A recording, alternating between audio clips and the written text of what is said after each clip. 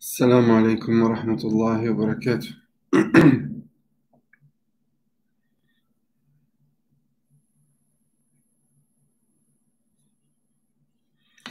بسم الله الرحمن الرحيم. إن الحمد لله تعالى نحمده ونستعين به ونستغفره ونعوذ بالله من شرور أنفسنا ومن سيئات أعمالنا. من يهده الله فلا مضل له ومن يضلل فلا هادي له.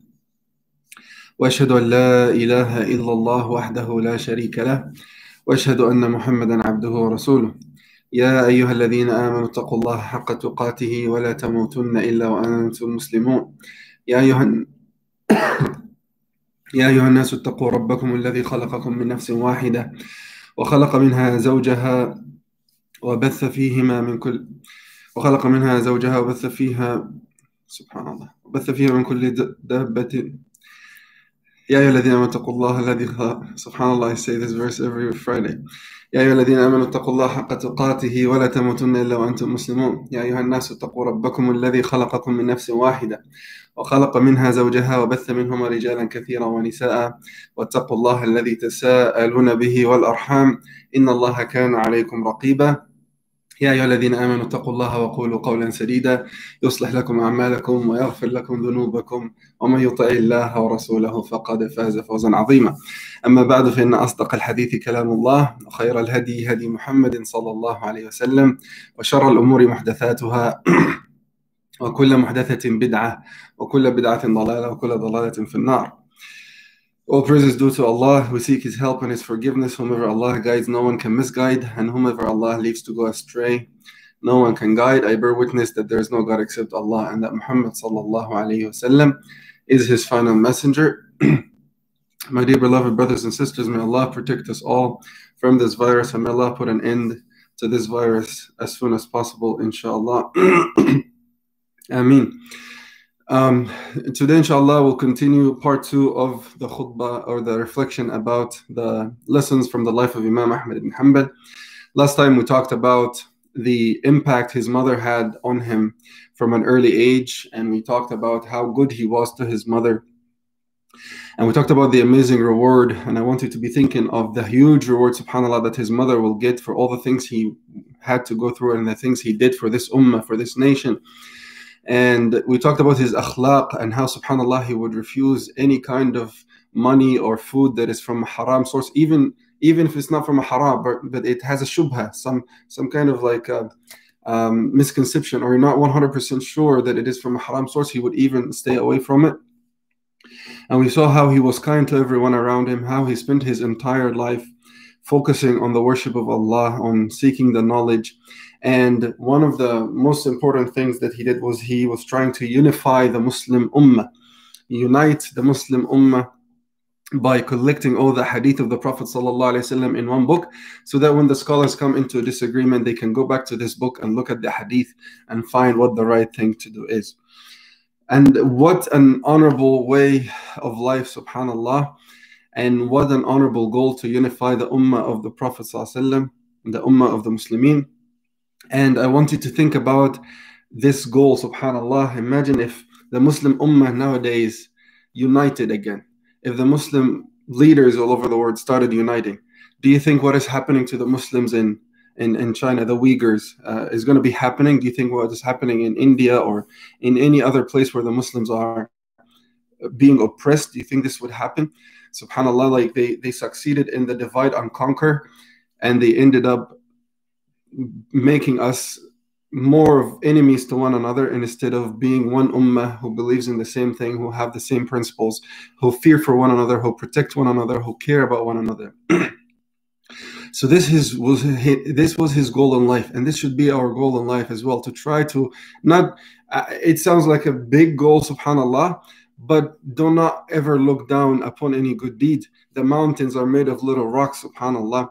So try to unify your family first try to unify your friends try to get your muslim brothers and sisters to unify in the masjid where you are try to get them to be united and loving and caring for one another and protective of one another we do what we can and allah subhanahu wa ta'ala takes takes care of everything so i want you to think with me for a second if the muslim ummah were to unite again and think of the, all the awful things that are happening right now to the Muslims.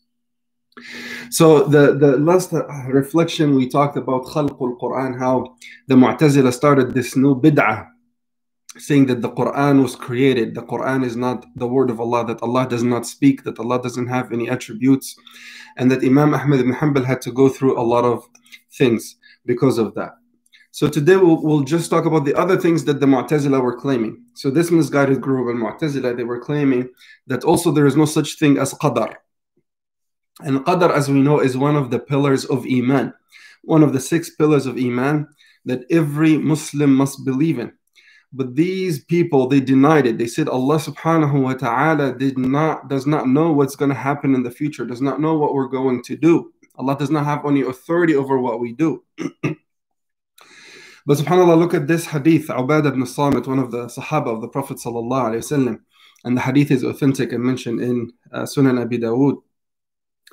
When Ubadah ibn Samit was dying on his deathbed, his son was with him. So Ubadah ibn Samit said to his son, Ya bunay, lan tajid ta'am haqiqat al-iman. You will not find the true sweetness of iman. You will not find the taste of sweetness of iman unless you know that whatever happened to you was never going to miss you. And whatever missed you was never going to happen to you. And he says, I heard the Prophet ﷺ say, that when Allah subhanahu wa ta'ala created the pen, He said to it, write, and it wrote everything that will take place until the day of judgment. So Ubadah ibn Samit is telling his son that you will not find the sweetness of Iman until you believe in Qadar.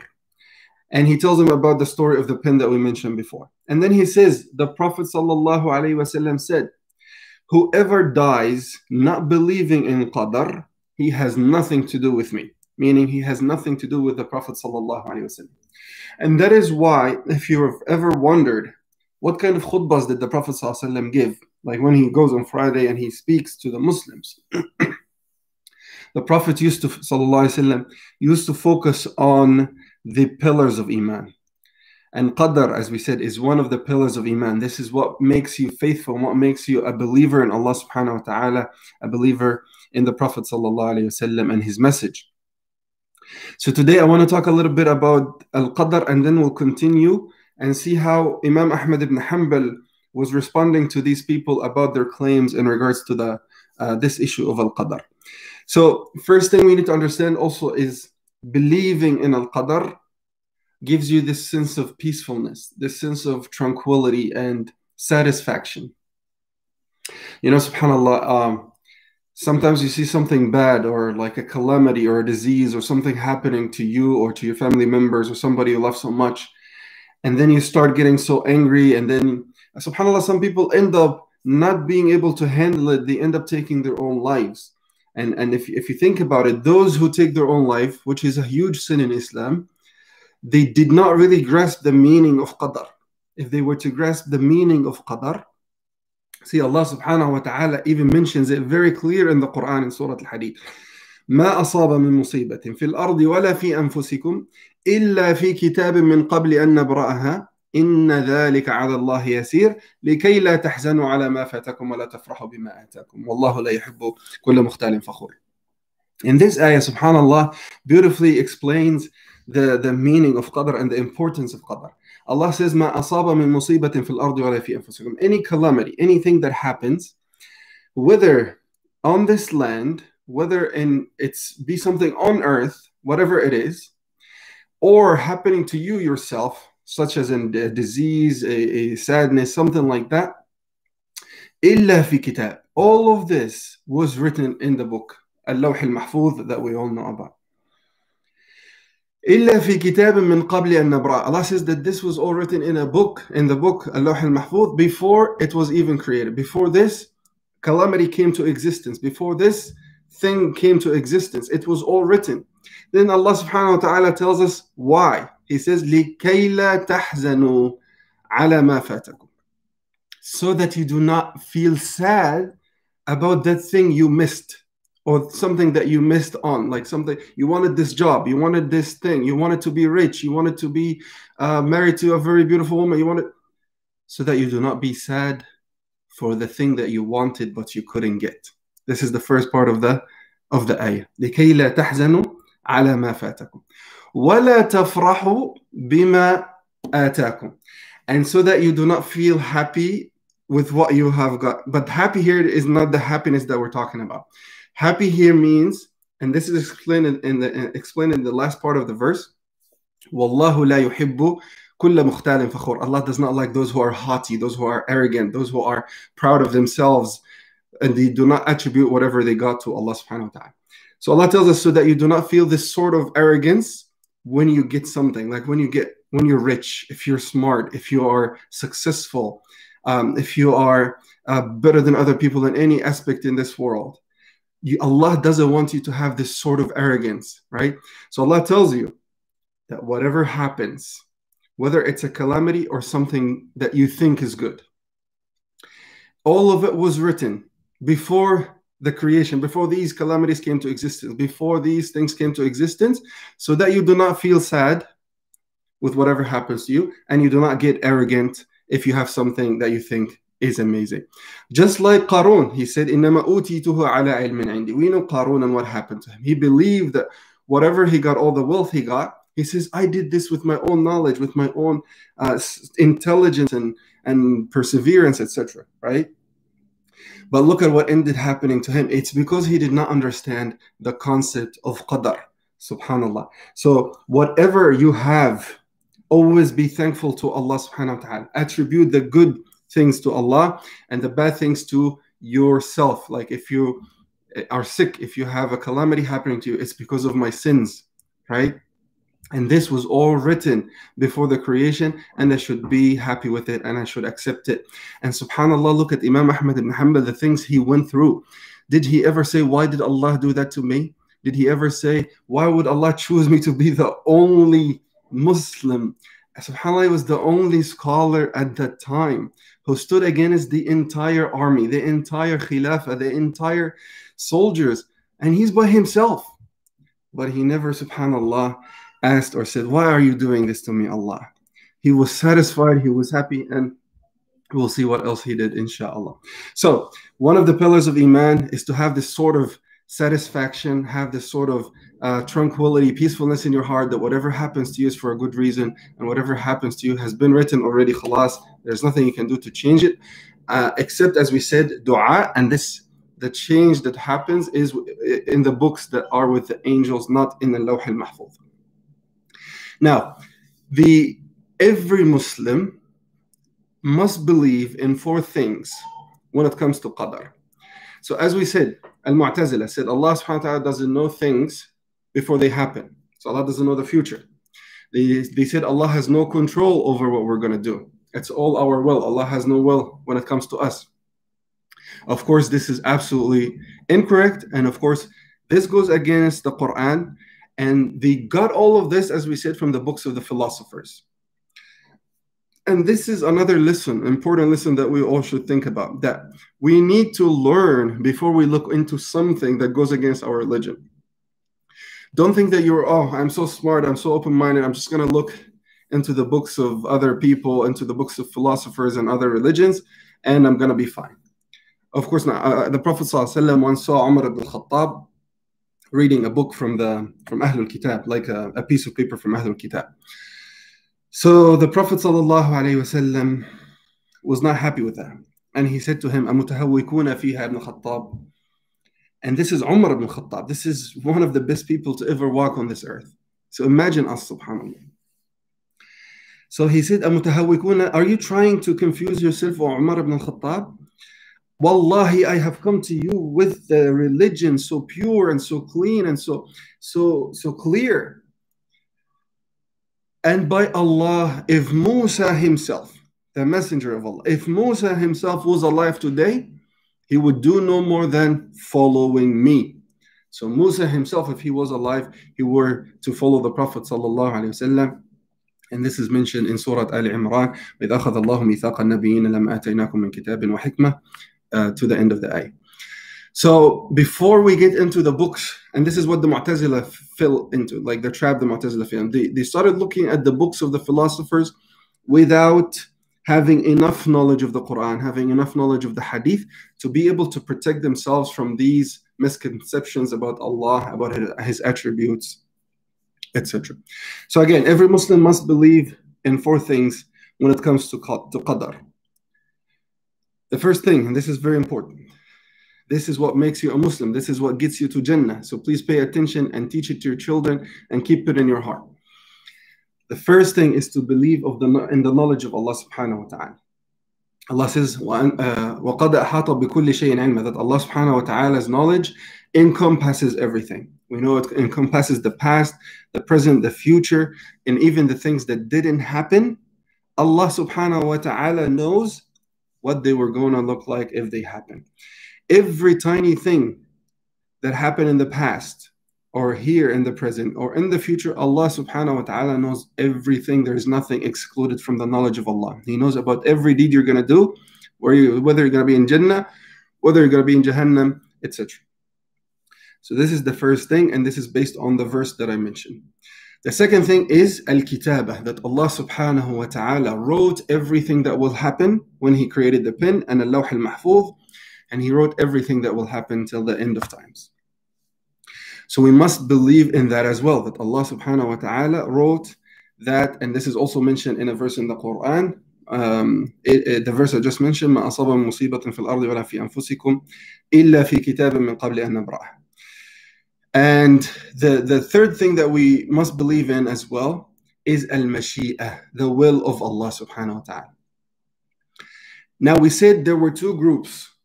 Each one went to an extreme. Some said Allah doesn't know what we're going to do. Allah doesn't have control over what we're going to do. And this is al Mu'tazila.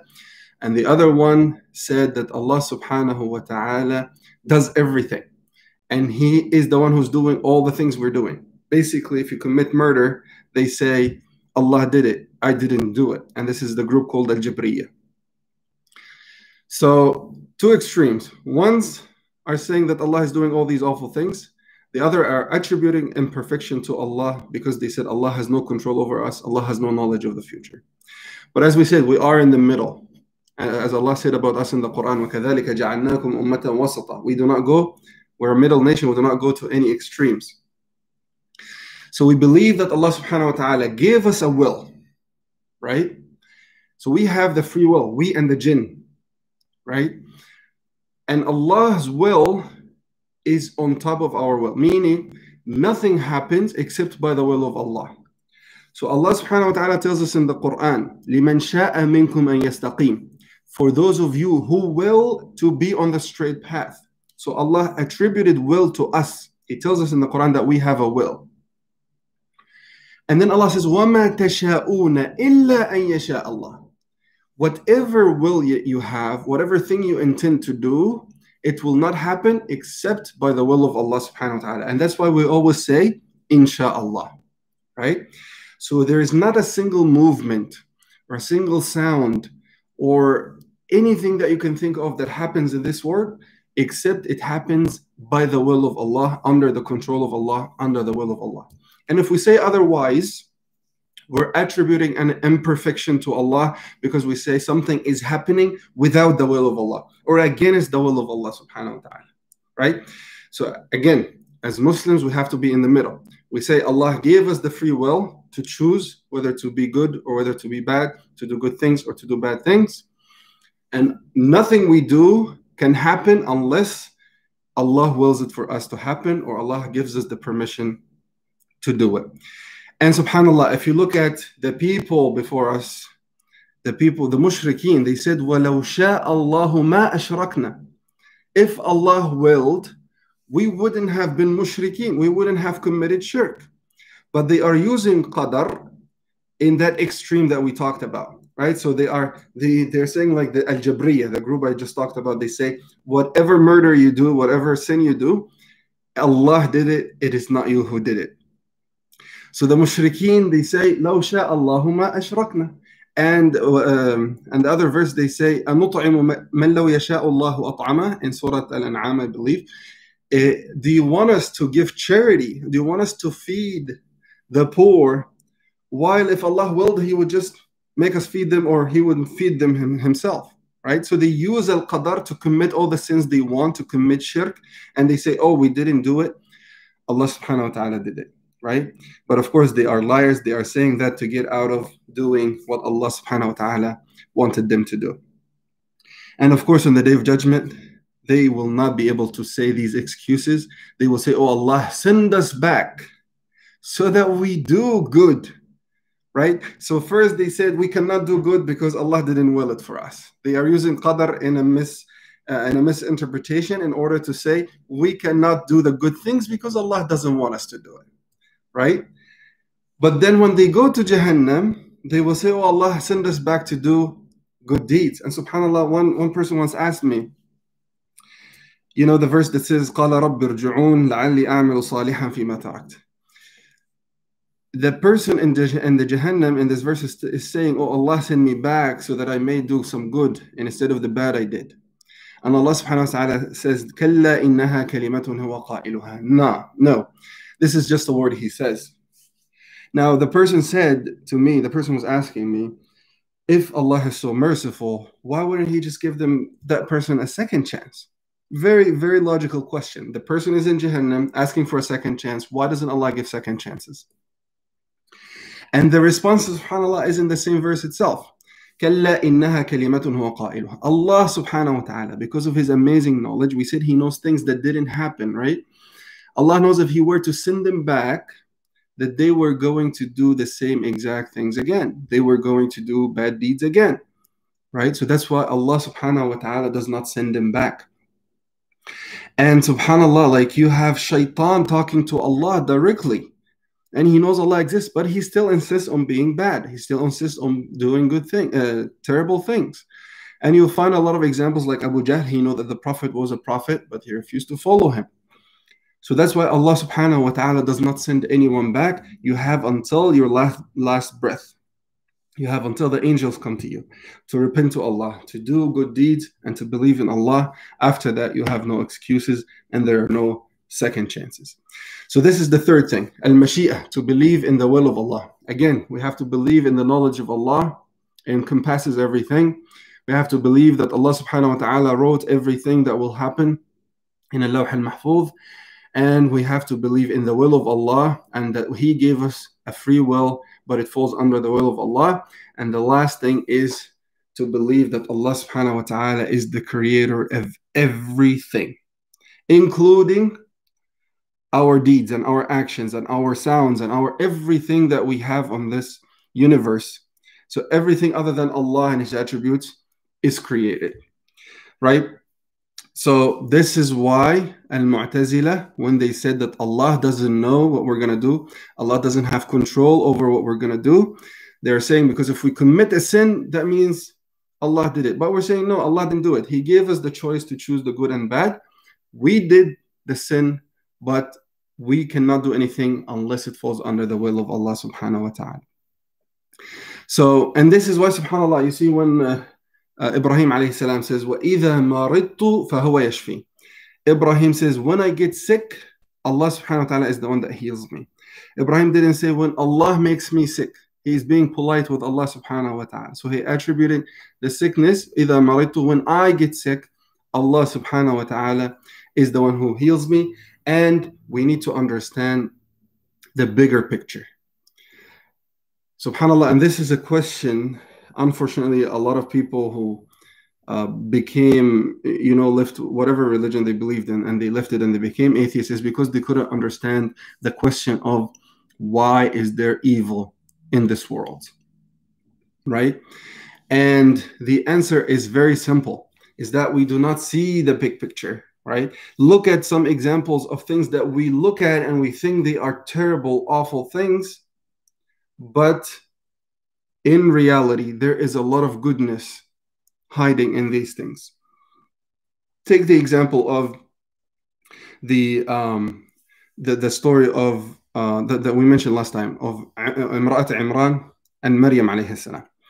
Imra'at Imran, she wanted a son so that she can dedicate him to the worship of Allah in the masjid. And instead, she got a, a female, right? So that's why she says in the verse in, in Surah Al Imran, Rabbi inni wada'tuha untha. Oh Allah, it's a, it's a female. it's kind of like she's saying that because she's sad that she didn't get her wish to have a son to put him in the masjid to service Allah day and night.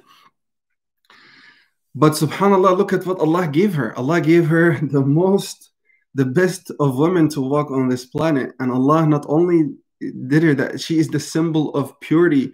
Maryam, she's the symbol of uh, symbol of chastity. And Allah gave Maryam one of the best five messengers to walk on earth, right? So what she saw is that she got a female, so she started getting sad. And she started asking Allah, I'm sorry, Allah, I'm not going to be able to do what I promised. But then Allah subhanahu wa ta'ala gives her Mary and then gives Mary Isa alayhi salam, one of the greatest messengers of Allah subhanahu wa ta'ala.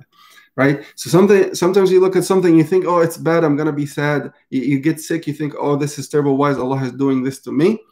But in reality, Allah is doing something or preparing something for you that you could never imagine. And we said in Ramadan, on the day of judgment, people are going to start saying, We wish we were like those who were sick and miserable and poor in this world. Why?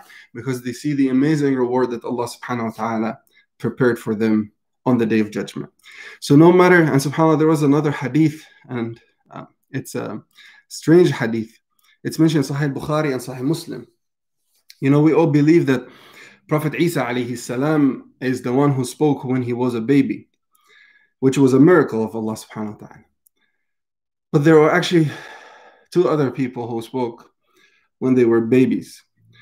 And one of them is mentioned in Sahih Bukhari and Sahih Muslim. The Prophet ﷺ tells us that while a woman was breastfeeding her child, a man passes by. A man on a horse wearing very expensive clothes, very nice clothes, and he looks very rich. When this man passes by, the mother looks at him and she says, Oh Allah, make my son, the son that she's breastfeeding, make my son like him when he grows up. So the baby immediately looks at her and he says, Oh Allah, do not make me like him. SubhanAllah, this was a miracle. And then again, this woman is walking and they pass by a woman who's being tortured, like being lashed. And the people are lashing her are saying that the, she's being lashed because she committed such and such, and she stole and she did all these awful things. So the mother said, Oh Allah, do not make my son as this woman when he grows up. So the son again looked at her and he said, Oh Allah, make me like this woman when I grow up. Subhanallah. Now the woman is wondering, like, why is this happening? And as we said, it's a miracle, of course. And then the son says to her, The first man that you saw, who was rich and uh, wearing all these amazing things and on this beautiful horse, he was an arrogant man who committed a lot of bad things. And, and I don't want to be like that when I grow up. And when we passed by this woman, that they accused of committing all these awful things, she's actually innocent and she didn't do any of them. And Allah will give her a huge reward.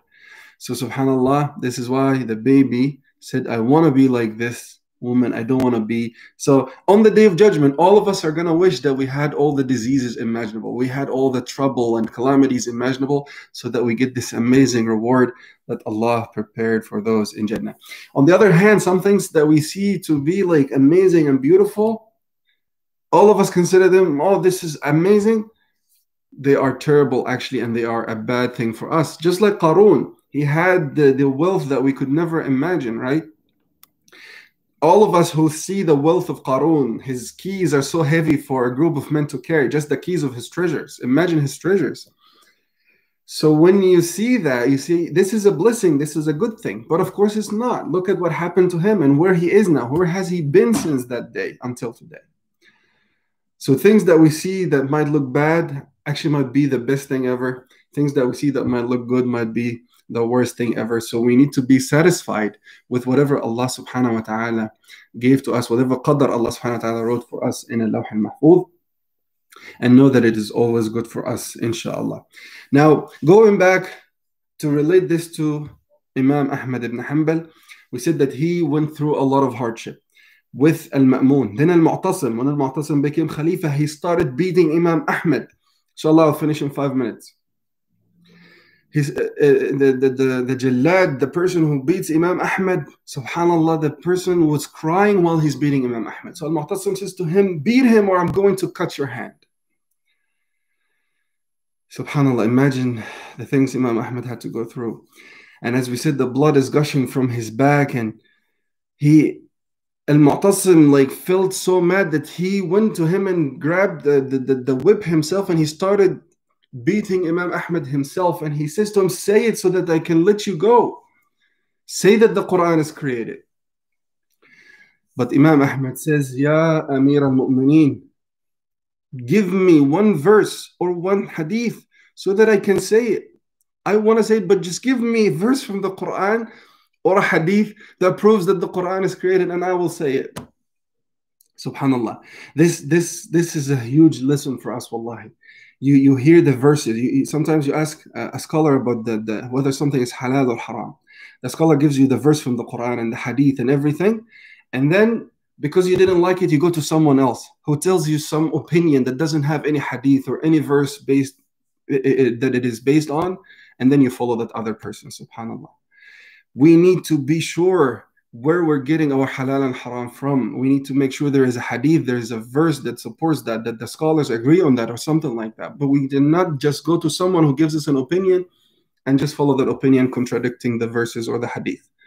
That's why the four Imams, Abu Hanifa, Shafi, Ibn Hanbal, etc., all of them said, if I say something that opposes what the Prophet said, وسلم, then throw that thing up the wall. Throw my saying up the wall and follow the hadith of the Prophet.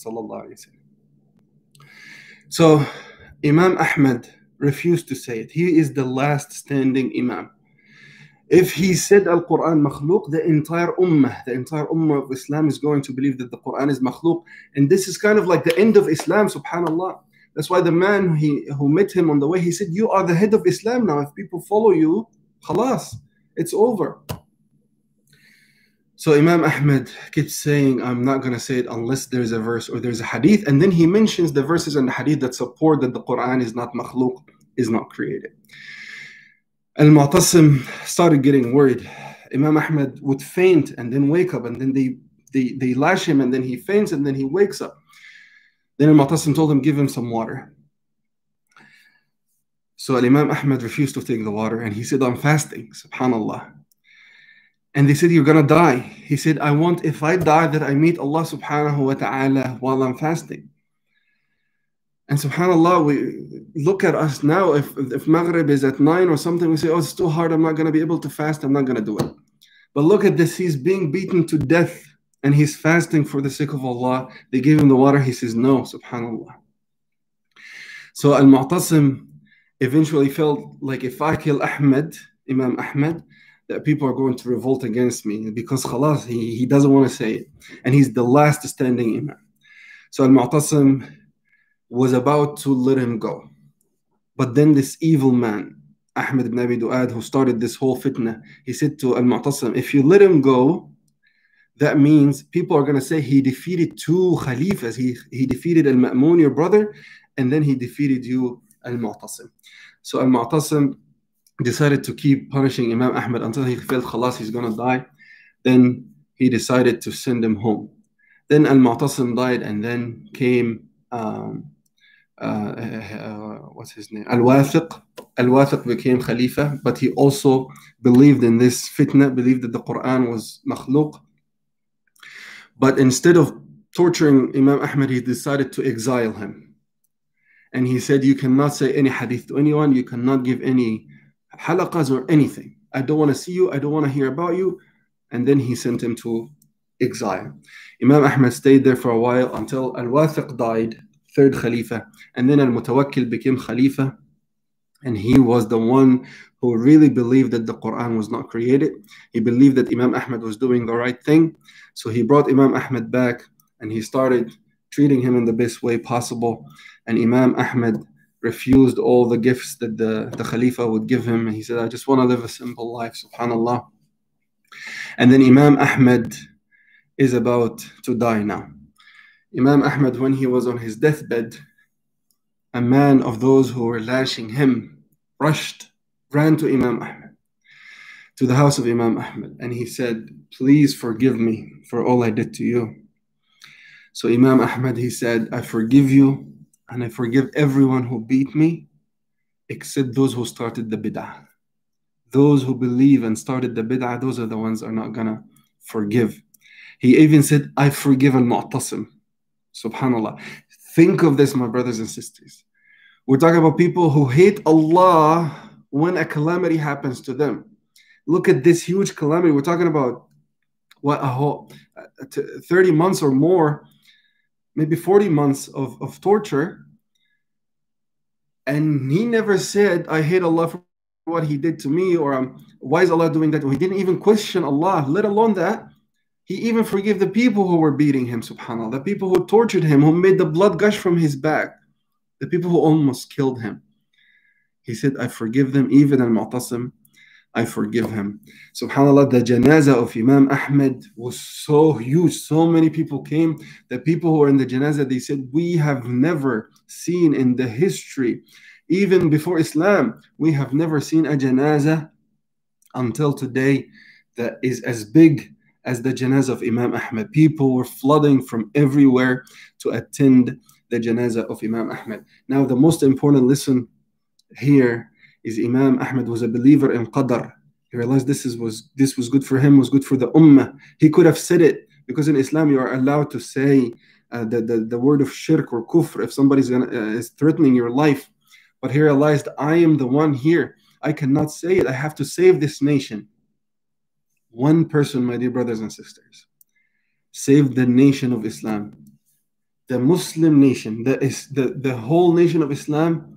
And that's why Al-Muzni, one of the scholars said, subhanAllah, he said, عصم الله الأمة بأبي بكر يوم الردة وبأحمد بن حنبل يوم المحنة that Allah protected the, the Muslim nation by Abu Bakr when the ridda, when the apostasy happened. And Allah protected the Muslim nation by Ahmad ibn Hanbal when the fitna of khalq al-Quran, that the Quran is created, started. The last thing I will say is that when Imam Ahmad died, he left behind a garment. his son and heard it. And his son, he says, one day I came back home and there was a huge fire in my house. The fire ate everything, burnt everything, except that garment that my father left behind. Subhanallah. All it takes is one man, my dear brothers and sisters. Think about all these lessons we learned from the life of Imam Ahmad. Think about how important it is for us to learn and teach our kids about the, the religion of Islam, the pillars of Iman, and the history of our nation. May Allah bless you all. May Allah protect you all. Jazakumullah khairan. May Allah protect us from this virus. May Allah put an end to that virus. May Allah bring us back to the masajid as soon as possible. May Allah subhanahu wa ta'ala forgive our sins and grant us al-firdaus al-a'la with our loved ones. May Allah subhanahu wa ta'ala grant us al-ikhlas fil qawli wal amal. Ameen, ameen. Jazakumullah khairan. Wassalamu alaikum wa rahmatullah.